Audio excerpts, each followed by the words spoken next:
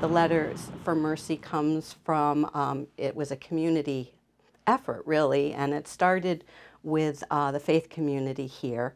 Um, the Matthew 25 project for the M, the E is for East, the collaboration we had with East Carolina. C is for our, R is for our religious community. We had um, a couple of pastors and the director of RCS um, here in New Bern saw a need for um, healthcare for those that didn't have access to it. So it really has been a, a community effort to bring MERCI forward and to uh, serve, service our, our population.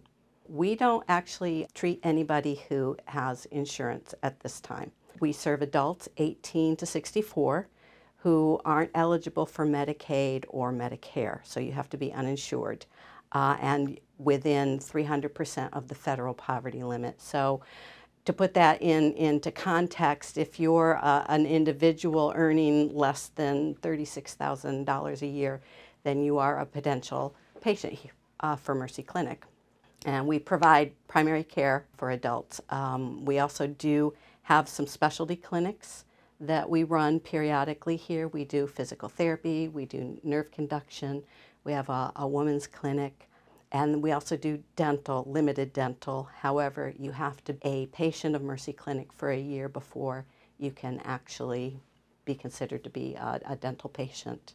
Our patients are um, 18 to 64, uninsured uh, ineligible for Medicaid or Medicare. We don't exist without our volunteers. I mean, MERCI Clinic exists because we are supported by the community, not just financially, but with people's giftings of their times and talent. Uh, all of our providers, our doctors, are volunteers. Most of them are retired, and so they've they've committed to supporting MERCI by doing shifts here most of our staff at this point, just because of limitation to access to nursing staff, um, our staff, our nurses mostly are, are paid at this point, but um, we have volunteers who work in the pharmacy, we have volunteers that work in our eligibility area, we have volunteers that just file papers for us, we have nurse volunteers. I mean, we don't work without the volunteers, and the, our community members are just ridiculously generous with their time.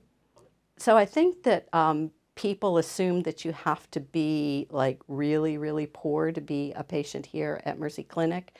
And once Medicaid expansion goes into, into effect here in the state, we will be serving uh, people who are within, within 138% and 300% of the federal poverty level. And just to put that in context, for a single person, uh, can earn up to about $43,000 and be eligible to be a, a, patient here at MERCI Clinic. So I think there's people don't quite understand who we serve. It's a lot broader than people might think. So if you have any questions, just give us a call and somebody would be happy to, to, to help you with that because we really, we really are here to try and get as many people health care as we possibly can.